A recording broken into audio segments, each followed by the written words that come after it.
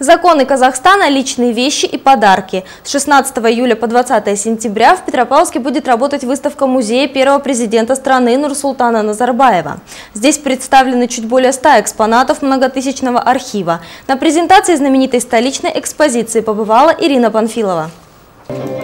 Прежде чем ознакомить североказахстанцев с экспозицией, выставку музея первого президента торжественно открывают. От имени Акима области гостей приветствует его заместитель Анархан Дюсенова. Хочу поблагодарить ваш коллектив за огромную работу.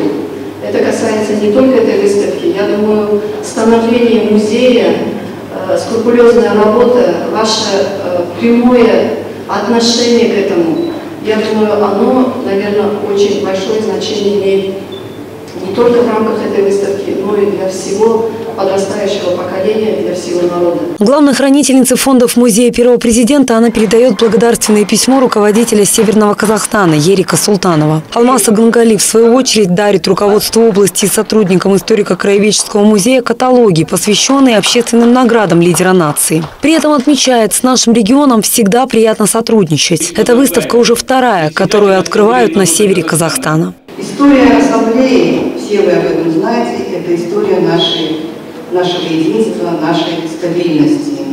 А Северо-Казахстанская область – это один из ярких примеров единства через многообразие народов и культур. Именно поэтому мы с особой тщательностью готовили эту выставку. В этом году Ассамблея народа Казахстана юбилей. В честь 20-летия общественного института и название у выставки символическое. Казахстан – территория мира, духовности и согласия. Султан Абишевич Назарбаев всему миру показывает, что национальный вопрос является стержнем государственной политики нашей страны.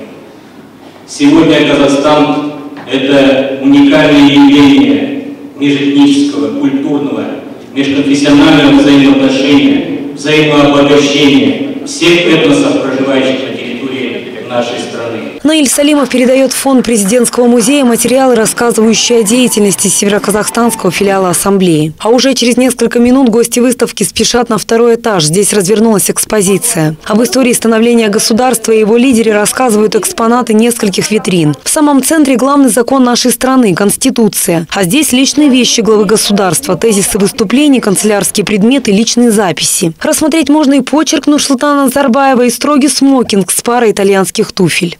Один из уникальных экспонатов, представленных на выставке, служебное удостоверение первого президента Казахской ССР. Получил его Нурсултан Назарбаев в 1990 году.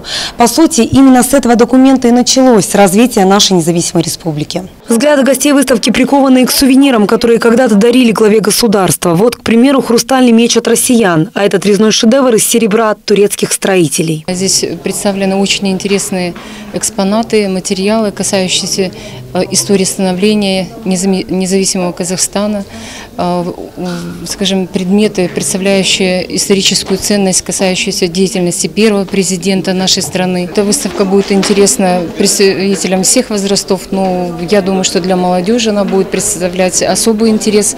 Экспонаты, личные вещи нашего президента. Мы видели подарки, которые дарены зарубежными президентами. Это очень впечатляет хорошо. И в этом году э, исполняется 20 лет Ассамблеи народа Казахстана, где проживают представители 130 национальностей под одной крышей в мире согласии. Это очень нелегкий труд, это каждодневная работа нашего президента.